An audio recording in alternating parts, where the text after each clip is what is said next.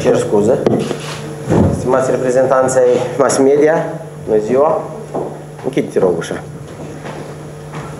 În primul rând, aș vrea să vă mulțumesc pentru că ați dat curs invitației pentru a avea o, o discuție, mai degrabă o discuție aș, profesională decât o conferință de presă, pentru că sunt foarte multe întrebări la care trebuie să răspundem eh, pentru societate. Este o perioadă destul de complicată, respectiv este un vacuum de informații și de ce cred că este și un interes sporit referitor la tarifele aprobate de ANRE, tarifele provizorii aprobate de ANRE pentru următoarele 14 luni. Astfel, după cum ați monitorizat și dumneavoastră ședința ANRE-ului. Practic, ANRE-ul a luat act de informație prezentată și calculele de către, prezentate de către Moldova Gaz privind tarifele pentru următoarea perioadă. De ce atâta urgență? Ca să fie un răspuns foarte clar. Și de ce tarifele de la 1 noiembrie? Astea sunt întrebările care pe majoritatea oamenilor îi interesează. Pornim de la faptul că devierile tarifare la momentul actual pentru Moldova Gaz, ca furnizorul central, hai să spunem așa, furnizorul, unic furnizor pentru Republica Moldova, sunt în volum de 1 miliard 400 de milioane. 474 de milioane. Cifra este destul de mare pentru, pentru furnizor, respectiv presiunea financiară care uh, este pusă pe spatele la Moldova Gaz, practic face, face imposibil achitarea prețului la gaz, care este destul de majorat, după cum cunoașteți și dumneavoastră. Astfel, noi uh, de la începutul anului 2021 am asistat la o creștere continuă a prețurilor medii pe fiecare lună a gazului livrat, și dacă în primul trimestru era 124 de dolari mie de metri cubi, noi vedem că în trimestrul 2 deja sunt 541 de dolari mie de metri cubi. După cum cunoașteți, contractul a fost semnat și sigur că una dintre condițiile care a fost semnat acest contract, contractul a fost avizat de ANRE, una dintre condițiile obligatorii din partea Moldova Gaz și Guvernul Republicii Moldova era achitarea consumului de gaz pentru luna octombrie și noiembrie. Având în vedere devierile foarte mari și prețul ridicat. De aceea, Comisia Situații Excepționale, având obligația de a achita pentru luna noiembrie integral consumul de gaze naturale, și-a luat această, această decizie privind intrarea în vigoare a tarifelor de la 1 noiembrie. Ca să fie clar de ce 1 noiembrie? Respectiv, ANRE-ul nu a avut decât să se conformeze, să execute deciziile obligatorii pentru situații excepționale. Și vreau să vă spun că, deci, din punctul meu de vedere, decizia este una corectă, deoarece situația creată până la semnarea contractului a fost una foarte și foarte complicată pentru sistemul gazier al Republicii Moldova. Dacă chiar și uh, guvernul sau uh, Comisia Situației Excepționale nu a prezentat un uh, Uh, un grafic al uh, zilnic al situației, eu vreau să vă aduc la cunoștință că realitatea era una destul de complicată. Sistemul era la nivel de 13 bari, ceea ce presupune, practic, imposibilitatea de a livra, de a transporta gaz pe teritoriul Republicii Moldova. De aceea, deciziile luate de către Comisie, în, în sensul dat, noi le-am susținut ca și reprezentanți al uh, ANRE și ca reprezentanți al sistemului gazier și energetic din Republica Moldova, conștientizând gravitatea problemei. Asta este argumentul pentru decizia de 1 noiembrie, intrarea în vigoare a tarifelor de 1 noiembrie. Ce urmează de făcut în continuare? După cum cunoașteți, Comisia Situații Excepționale a obligat ANREU ca să aprobe tarife provizorii. Ce înseamnă tarife provizorii? Asta înseamnă că doar ANREU a luat act de calcule prezentate de către Moldova Gaz. Totodată, Comisia Situații Excepționale a obligat ANREU până la data de 30 noiembrie să verifice integral și să revizuiască tarifele, reieșind din calculele care sunt prezentate și din cifrele care de, dispune la moment ANREU. Ce urmează să verifice în termen de 3 săptămâni ANREU? Devierile formate de 1 miliard 392 de milioane pentru 10 luni anului 2021, pentru că 197 de miliarde milioane, în cer scuze, sunt deja devieri întărite de către ANRE. Noi urmează să verificăm foarte clar costurile de bază ajustate în, sur, în sumă de 300 și ceva de milioane, 209, 300, 296 de milioane, hai să spunem corect.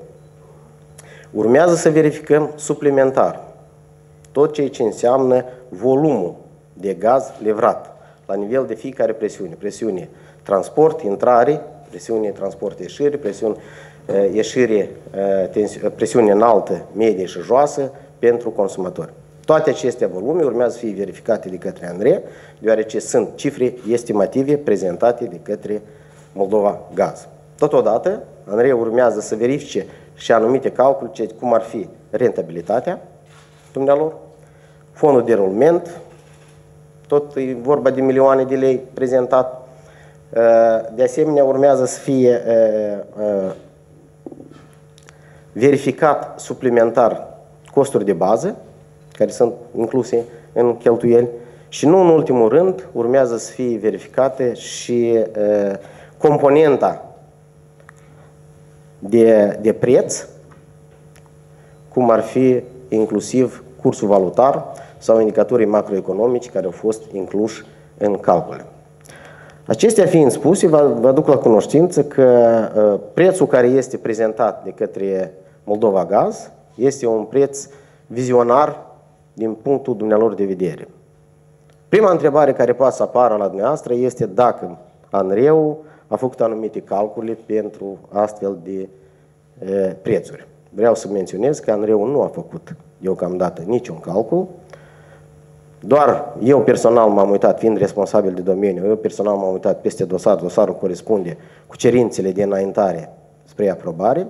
Vreau să menționez că tariful, prețul gazului indicat în cerere este un preț, un preț calculat estimativ de către Moldova Gaz, având la informații, având informații ca și informații să spunem, informații prezentate de platformele internaționale privind tranzacția gazului natural. De aceea uh, pot să menționez de la bun început că uh, tariful care va fi aprobat de către ANRE până la data de 30 noiembrie urmează să fie un tarif corect. Sunt aproape ferm convins că tariful nu poate crește decât este prezentat la momentul actual de către Moldova Gaz. O altă informație necesară, care trebuie să o cunoască uh, cetățenii, este că acest tarif este unul înalt, dar el trebuie să ducă la echilibrarea sistemului și capacitatea consumatorului să-l achite. Andreu, când examinează tarifele, ia în calcul doi factori importanți – este capacitatea consumatorului de a achita și capacitatea furnizorului de a livra. Din experiența care o deține Andreea, Moldova Gaz poate să-și permită, din punctul meu de vedere, sub aspect economic, maximum până la un miliard de vieri negative. Acestea sunt uh, costuri, dar vreau să menționez că toate aceste devieri negative sunt deservite prin credite luate de Moldova Gaz iar aceste credite sunt incluse, uh, deservirea creditelor sunt incluse în tarif. De aceea, ANRE nu trebuie să admită devieri negative majore. Noi cunoaștem uh, istoricul când uh, nu au fost ajustate tarifele la timp și am ajuns la devieri sau datorii istorice. toate aceste datorii istorice care noastră ați auzit în presă de 700 de milioane, care sunt la bază 400 de milioane corpul, neachitat, 300 sunt datorii, toate acestea este rezultatul neajustării la timp a tarifelor. Tarifele trebuie să fie corecte pentru a nu plăti mai mult în viitor. Acestea fiind spuse, eu sunt la dispoziția dumneavoastră pentru a răspunde la întrebările care le aveți dumneavoastră. Pe rând fiecare, eu sunt la dispoziție cât doriți dumneavoastră să vă răspund la orice întrebare. Nu vă grăbiți și începem cu runda întrebări-răspunsuri. Domnule Canu, aș vrea să facem o precizare, Vasile Lucian, jurnalul Dumneavoastră ați spus că acest tarif majorat la gazele naturale pentru consumatori este condiționat uh, inclusiv de deviere financiare, pentru că în trimestrul, în semestrul 2 am avut uh, un preț de import uh, mai mare decât în primul semestru. Prețul de import al gazelor naturale din primele două luni de toamnă, septembrie și octombrie, când a ajuns până la 790 de dolari mie de metru cub, deci aceste devieri financiare sunt incluse în tariful aprobat astăzi. Înseamnă că menționez pentru primele 10 luni anului 2021, devieri tarifare sunt 1 miliard 392. Devierile tarifare totale de 1 miliard 474 de lei sunt incluse în viitorul tarif. ANREU are obligația, când examinează tarifurile, tarifele, să includă devieri, recuperarea devierilor. Ceea ce a făcut la, la moment Moldova Gaz a venit cu o abordare, din punctul meu de vedere, foarte profesională și corectă, prin care a extins execut, uh, recuperarea devierilor tarifare pentru 14 luni. În cazul în care devierile tarifare, acestea care le avem noi, 1 miliard 300 și plus 197 de milioane, le includeam pe tariful doar 2021, eu vă asigur că prețul urma să fie sub 13.000 de lei. De aceea, abordarea care este la momentul actual pe 14 luni este una corectă și toate aceste devieri tarifare, dacă după aprobarea tarifului de către Andrei, uh, ele vor fi recuperate. Dacă sigur nu se va schimba prețul la gaz pe piața internațională. Eu vă întrebam pentru că președintele Moldova Gaz a declarat la o emisiune că tariful de 10 lei și 26 de bani pentru consumatorii casnici, în mare parte, care a fost solicitat către ANRE, nu are include devierile financiare acumulate până la 1 noiembrie. Și atunci noi, când va fi aprobat un tarif stabil, ca să zicem așa, după 30 noiembrie, de către ANRE, am putea să ne așteptăm la scăderea acestui tarif de 10-26 sau la mărirea lui? clip, n-am înțeles întrebarea. După uh, tariful care va fi aprobat de Andrei la, până la 30 noiembrie? Nu, asta, asta să vedem. Să După 30 noiembrie va mai fi Nu, până la 30 noiembrie va fi... Ok, până la da. 30 noiembrie. Acesta este un tarif provizoriu. Da. Următorul tarif ar urma să fie peste 10-26 sau sub? Categoric nu sunt de acord că va fi mai mare de 10 lei. Eu am, uh, la început am uh, menționat că îmi cer scuze, să aude. Am menționat faptul că uh, prețul este estimativ, prețul la gazul natural propus de către Moldova Gaz este unul estimativ. De aceea noi urmează să verificăm, inclusiv la nivel de platforme internaționale, cum s-a format acest preț. Pentru că în contractul de uh, livrare a gazelor naturale pentru Republica Moldova nu este preț fix, este formulă care are câteva componente. Și acest lucru trebuie să ocupe Andrei în perioada următoare să verifice dacă formula a fost aplicată corect și cifrele care stau la bază prețului sunt corecte.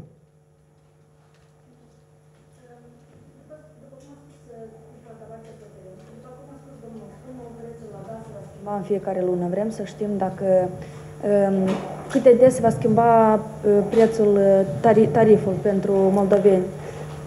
Bine, uh, Politica tarifară, în general, uh, uh, a regulatorului este condiționată de norma legală. În momentul în care nu contează, discutăm despre gaz, energie sau de, de, de obicei acestea sunt de bază, sau energia termică, noi avem condiționalitate foarte clară. Dacă este o deviere a rentabilității mai mare de 3% pentru furnizor, furnizorul este în drept să solicite examinarea noilor tarife. Că e în creștere, că e în scădere. Asta, asta este norma de bază generală. Sigur că uh, în practică se, se merge cam o dată pe an ajustarea tarifelor și așa este corect. Se verifică o dată în an tarifele.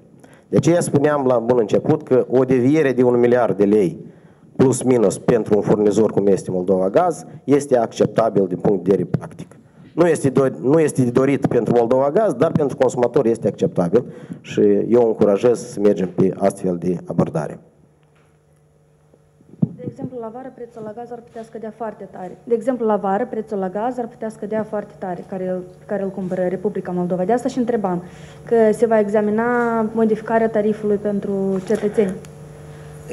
Orice tarif urmează să fie examinat în momentul în care sunt devieri negative, doar după recuperarea devierilor negative. În momentul în care, în luna august, va fi un tarif mai mic pentru...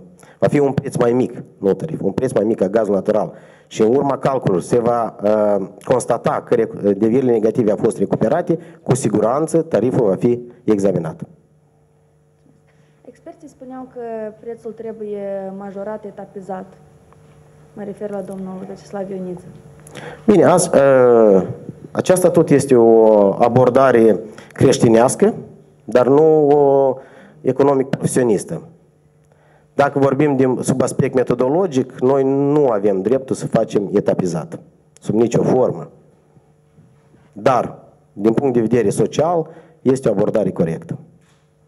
Ați spus că până acum Andrei nu a făcut calculele. Când, cât timp are nevoie? Nu a făcut calculele pentru a vedea cum s-a ajuns la acest preț. Cât, de cât timp este nevoie ca să fie calculat? După cum am menționat, eh, Comisia Situației Excepționale a pus la dispoziție Andreului doar până la data de 30 noiembrie. Vreau să menționez că legea stabilește foarte clar la termenul pentru examinarea unui dosar pe tarife la gazele naturale este de 180 de zile. Vă dați seama, este un termen destul de uh, uh, restrâns pentru noi până la data de 30 noiembrie. Sigur că noi vom uh, face grupuri speciale de lucru, vom uh, im- implica toți angajații care sunt uh, implicați pe domeniul tarifar, că noi avem tarife gaze, energie electrică, energie termică și apă, respectiv principiul de stabilire cam sunt aceleași, de aceea vom face un grup extins pentru a uh, executa indicația Comisiei Situații Excepționale.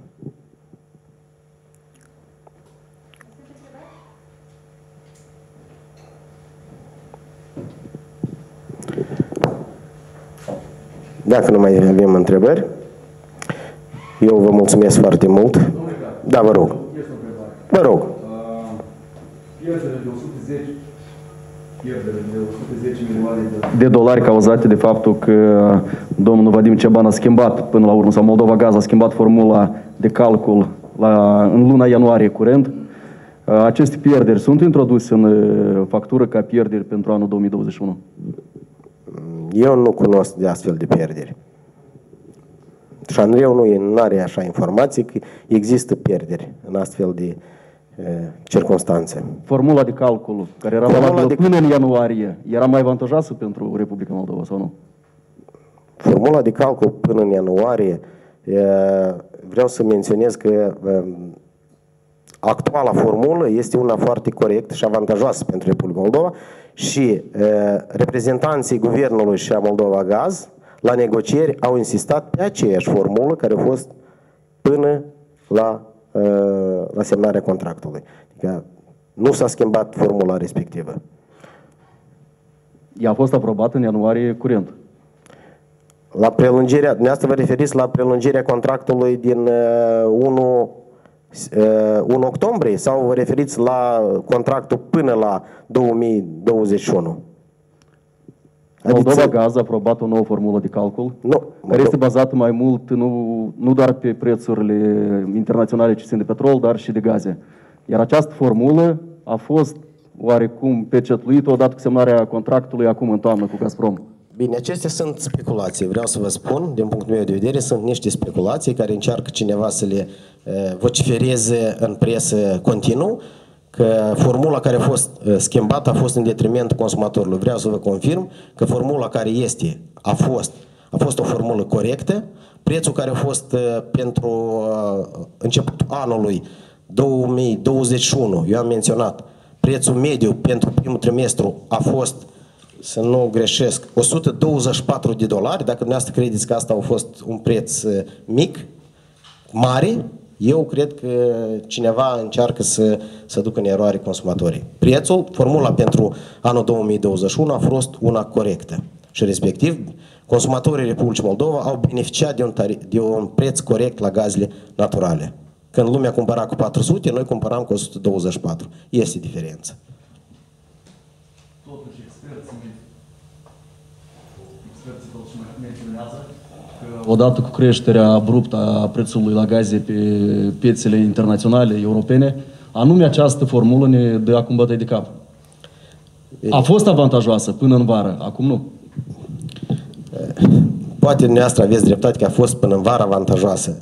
Noi trebuie, noi trebuie să înțelegem cum lucrează o piață, în general, și semnarea contractelor, uh, cum noi le avem anuale, vă dați seama, trebuie să ne asumăm și riscurile de rigoare. Noi am nimerit în turbulențe a pieței internaționale și respectiv strângem roadele ca și toată uh, Uniunea Europeană. Nu este nimic ieșit din comun că formula a fost schimbată la început de an și Republica Moldova a avut un preț avantajos.